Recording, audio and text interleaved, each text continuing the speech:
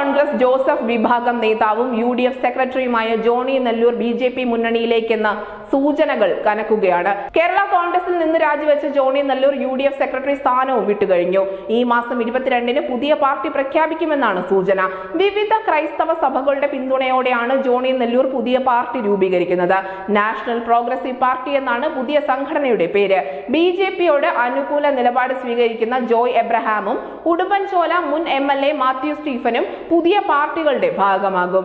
ഈഴവ സമുദായത്തെ ആകർഷിക്കാൻ B D J S രൂപീകരിച്ച എൻ ഡി എ ഘടകകക്ഷിയാക്കിയതിന് സമാനമായ ഒരു രാഷ്ട്രീയ നീക്കമാണ് ജോണി നെല്ലൂരും നടത്താൻ ഒരുങ്ങുന്നതെന്നാണ് വിലയിരുത്തുന്നത്. ഓപ്പറേഷൻ താമരയുടെ ഭാഗമായി ബി ജെ പി കേന്ദ്ര നേതൃത്വം മുൻകൈയെടുത്താണ് ജോണി നല്ലൂരിന്റെ നേതൃത്വത്തിൽ പുതിയ പാർട്ടി രൂപീകരിച്ചത്. ക്രിസ്ത്യൻ വിഭാഗത്തെ ബി ജെ പിയിലേക്ക് ആകർഷിക്കാൻ ശ്രമിക്കുകയാണ് ഇപ്പോൾ ഇവർ.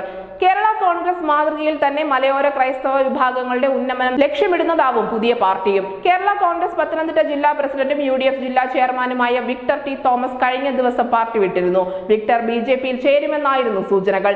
മുൻ എം പിയും പത്തനംതിട്ട ഡി സി സി മുൻ പ്രസിഡന്റുമായ ബാബു ജോർജും ഇന്ന് കോൺഗ്രസിൽ നിന്ന് രാജിവെച്ചു. ബാബു ജോർജും വിക്ടറും എല്ലാം വരും ദിവസങ്ങളിൽ നെല്ലൂരുമായി കൈകോർക്കാനുള്ള സാധ്യതകൾ ഏറെയാണ്. ക്രൈസ്തവ വിഭാഗവുമായി അടുക്കാൻ നിരന്തര ശ്രമങ്ങൾ അടുത്ത കാലത്തായി ബി ജെ പി നേതൃത്വത്തിന്റെ ഭാഗത്തു നിന്നും ഉണ്ടാകുന്നുണ്ട്. കേന്ദ്ര ന്യൂനപക്ഷ മന്ത്രി നേരിട്ടെത്തി കർദിനാൾ മാർ ആലഞ്ചേരിയെ കണ്ടിരുന്നു.